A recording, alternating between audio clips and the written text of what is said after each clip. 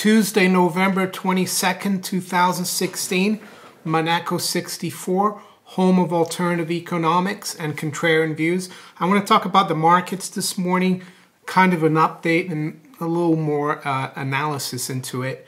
My main uh, motto at the moment is uh, markets can remain irrational for longer than you can remain solvent. And I think that was a saying from John Maynard Keynes.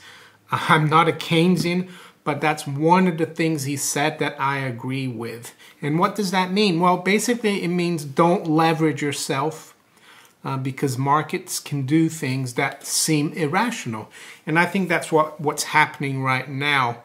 Uh, prior to the uh, election on November 8th, uh, and if you remember in October as well, when, I, when the news uh, came out that the FBI was reopening the investigation into Hillary Clinton. We had nine straight down days in the S&P and uh, the Dow, which was hadn't been seen since uh, 1980. So uh, the market was saying, "Wow, if Trump wins, that's really horrible for the stock market." And then early in the morning of November 9th, when the market found out that Trump was going to win, even though it wasn't official. The Dow dropped 800 points. Gold went up $60 to 1337. But then all of a sudden things flipped. And now we've seen the Dow go from around 17,500 to today where we've been at a high of 19,032. And by the way, it's 10:20 a.m. London time, so 5:20 a.m. Uh, New York. So yeah, the Dow today went up above 19,000. Uh, right now it's uh, 18,991, up 40 points. S&P got above 2,200. The high was 2,205. Right now we're 2,201. So we've had a complete turnaround in the uh, stock market. And, uh, you know, now having a Trump administration come in on January 20th is better than white bread, you know, uh, the better than that invention. It seems sliced white bread, and it's just confusing, in my opinion.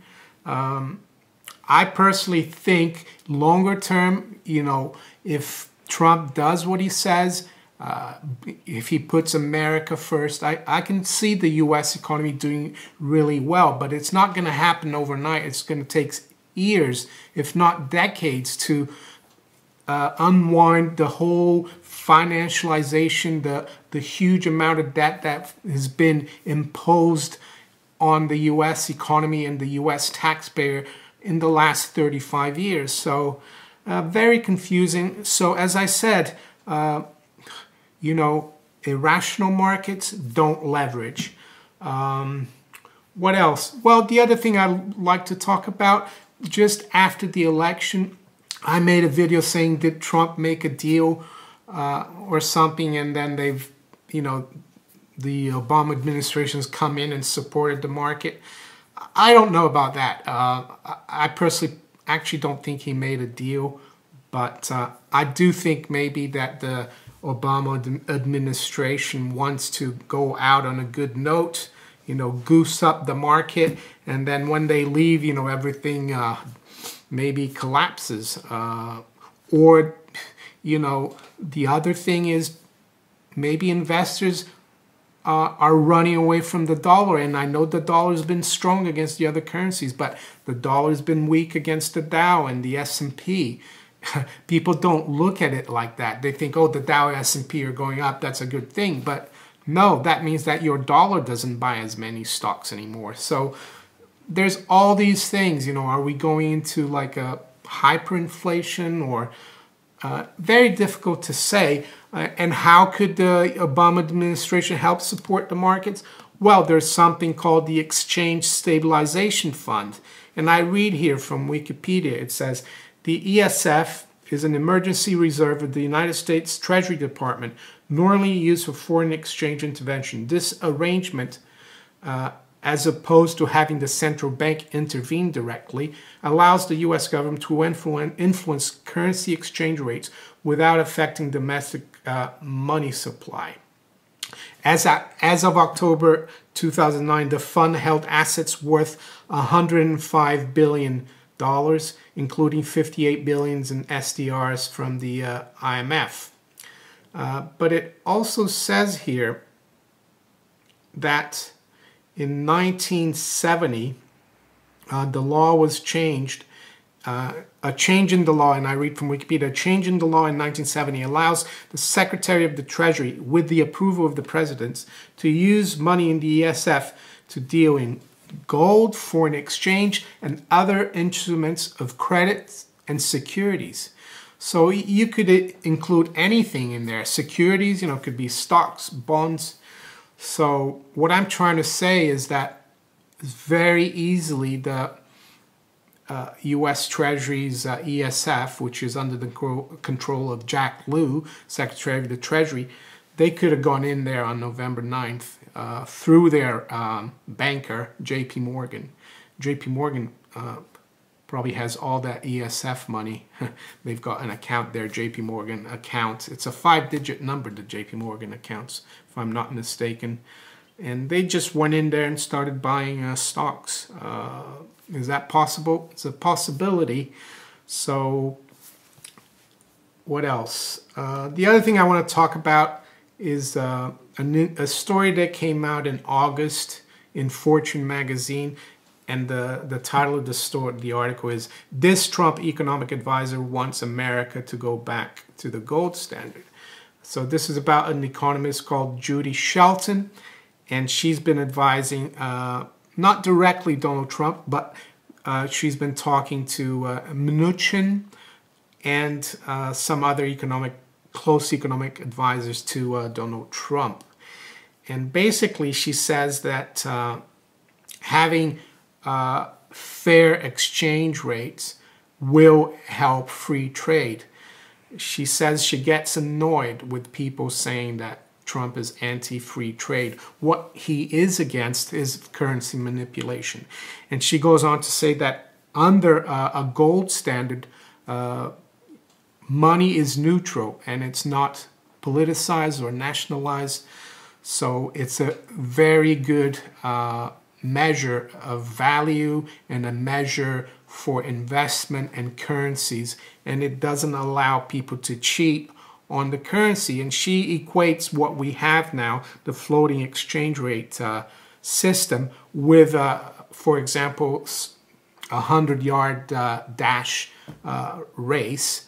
Uh, and then the 10 or 8 people do the race. And then they decide that for runner number six, uh, his 100 yard is only actually 10 yards. So he goes on to win despite not having won the race. And that's how she equates uh, the floating rate exchange uh, system that we've had since 1973.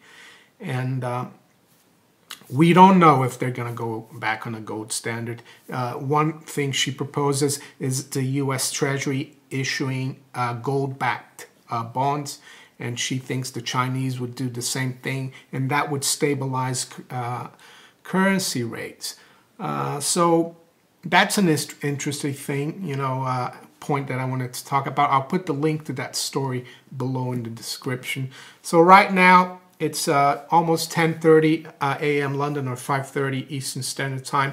Gold is up about four bucks, 12.17.50. We've been up to 12.21, so gold seems to be, uh, you know, made a bottom for now around 1202. Uh, the Dow is 18, basically 19,000 up about 50 points. S&P 2202 up 4. Silver 1683 up 25. So silver's doing well, up 1.5%. The pound is down 50 pips or 0.4% at 124.41. Euro uh, pretty much unchanged, 106.34. Uh, dollar against the yen unchanged, 110.81. So uh, what else have we got? The FTSE is up 75 points at 68.45, still way below the all-time high of 71.30 or thereabouts. Same thing for the DAX, below the all-time highs at 10,750, up 77. So stock market's doing well all around the world, but kind of a non-confirmation that the U.S. is making new all-time highs and uh, the U.K. and Germany are not, despite even weaker currencies. Uh, in terms of uh, uh bond markets, U.S. 10-year Treasury is at uh, 230, so that has kind of stabilized. We saw uh, that yield closed at closed at 235 last week. 30-year yield just below 3% at 297. And this week, don't forget, we got Thanksgiving, so the markets are going to be closed on Thursday in the US. They'll reopen on Friday, but it will be like a half day. So that's all for now. If you enjoyed this video, give me a thumbs up, uh, share this video far and wide, and subscribe to my channel if you haven't yet. If you'd like to donate uh, to my channel, there's some links below in the description. I'll uh, talk to you later. Take care. Bye.